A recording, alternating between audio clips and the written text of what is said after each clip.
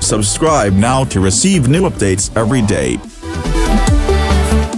ये है बांग्लादेशी क्रिकेटर की वाइफ। बुरका पहनने पर होटल से निकाल दिया था बाहर।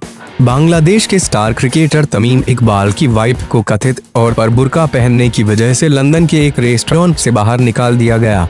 इससे नाराज़ तमीम तत्काल काउंटी क्रिकेट छोड़कर स्वदेश लौट गए थे।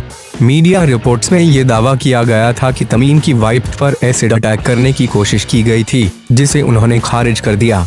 बांग्लादेश क्रिकेट बोर्ड के अनुसार, तमीम इकबाल वाइफ आयशा सिद्दीक के साथ लंदन के स्ट्रेटफोर्ड के एक रेस्टोरेंट गए थे। उनकी वाइफ ने सिर पर हिजाब पहना हुआ था। इस वजह से रेस्टोरेंट स्टाफ ने उन्हें पकड़कर बाहर कर दिया।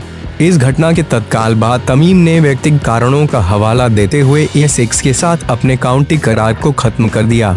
घटना के एक दिन बाद उन्होंने एस एक्स के ऑफिशियल से अनुरोध किया कि उनके कॉन्ट्रैक्ट को खत्म कर दिया जाए, जिसे तुरंत मान लिया गया।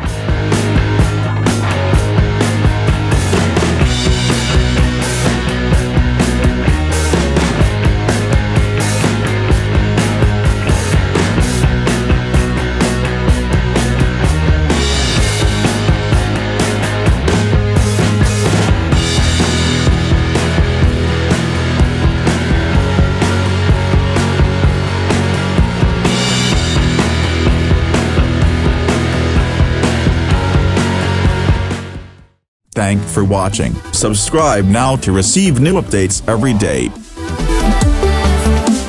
And don't forget to drop a like, leave a comment.